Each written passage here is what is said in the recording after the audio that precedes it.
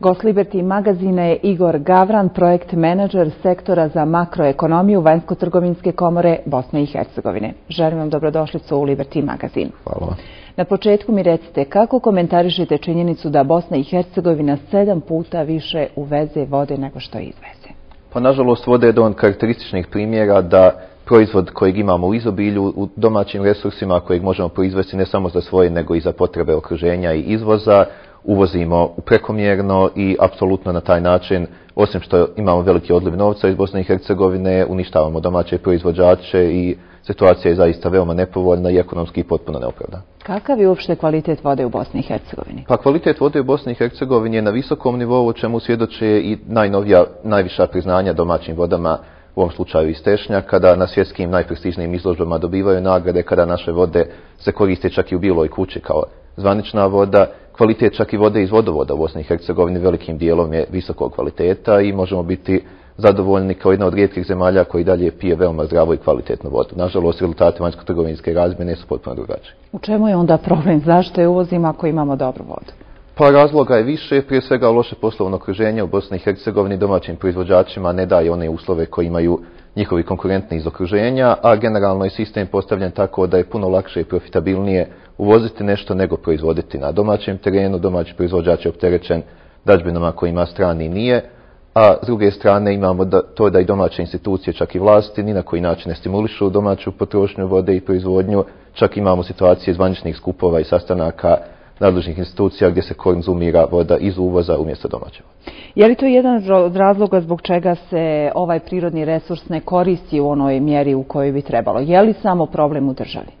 Pa u svakom slučaju problem nije samo u državi jer jednostavno uz sve ove nepovoljne aspekte stanja u kojim se nalazi domaća industrija vode, kada bi percepcija domaćih potrošača bila više okrenuta ekonomskom patriotizmu i kada bi oni prepoznali koliko je korisno za sve njih da daju prednost domaćem proizvodu, onda bi u svakom slučaju situacija bila mnogo bolja. Nažalost, mi imamo situaciju da domaći potrošač zbog nekih marketinških ulaganja stranih kompanija jednostavno stiče lažnu sliku da je strana voda bolja, mada to ni kvalitativno ni na bilo koji drugi način nije istina i daje preferenciju stranom proizvodu, ne shvatajući koliko štete nanosi i sebi i svojoj porodici, a pogotovo domaćim proizvođačima. Šta bi prema vašoj ocjeni država trebala uraditi da podstakne domaću proizvodnju vode? Pa za početak bi trebalo stvoriti ravnopravne uslove na tržištu da se jednostavno ne mogući uvoz vode koja ne zadovoljava sve standarde kvaliteta, a što smo do sada često imali slučaj da se proizvodi vrlo sumnjivog kvaliteta plasiraju na tržište Bosne i Hercegovine i da ukloni barijera izvozu naše vode koji postoje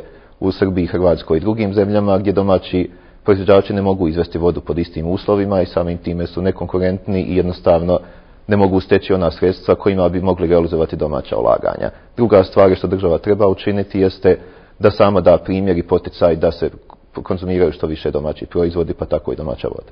Iz kojih to zemalja mi najviše uvozimo vodu? Je li njihova voda kvalitetnija u odnosu na našu? Pa što se tiče porijekla vode koju uvozimo, dominantno je to i zemalja okruženja, prije svega Hrvatske, Srbije, zatim Slovenije i nekih drugih država, a kada je riječ o kvalitetu, kao što sam već ranije spomenuo, svjetska priznanja koja naše vode dobivaju, a vode iz okruženja uglavnom su zaobiđene u takvim, od takvih nagrada, dovoljno pokazuje koliko je naša voda kvalitetom dominantna, ali nažalost ne, nije i dominantna na tržištu. Gdje izvozimo?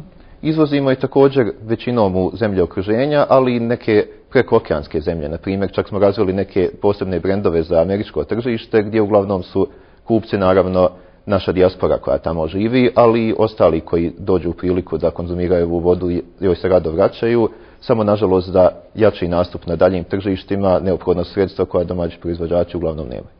Je li imate eventualno neki statistički podatak u Vanjsko-trgovinskoj komori koliko je Bosna i Hercegovina recimo proizvodila vode do 1992. Je li bilo ovih malih privrednih proizvođača? Pa kada je riječ o broju proizvođača, njih je svakako mnogo više poslije ratnom periodu zbog toga što je to mnogo više malih pogona. Prije rata smo uglavnom je dominirao od domaćih proizvođača Sarajski kiseljak svakako sa najdužom tradicijom, dok su drugi bili prisutni tek sporadično. A koristili smo velike količine vode iz bivše Jugoslavije i iz drugih republika. Sada imamo znatno drugačiju situaciju, mnogo je malih proizvođača koji su uglavnom neuvezani, nemaju dovoljne kapacitete i samim time mnogo je teže konkurisati. Opet prepoznajemo, lideri u našem izvozu su ponovno, znači već spomenuti Sarajski kiseljak i neke od kompanija koje imaju i širu proizvodnju ne samo vode, kao što recimo Sarajevska pivara ima svoje brendove vode ili neki druge kompanije, ali vrlo je teško biti profitabilan samo proizvodeći vodu. Gospodine Gavran, hvala vam na ovom razgovoru. Hvala vam na vašim gledalcima. Gost Liberty magazina bio je Igor Gavran, projekt menadžer sektora za makroekonomiju Vanjsko-trgovinske komore Bosne i Hercegovine.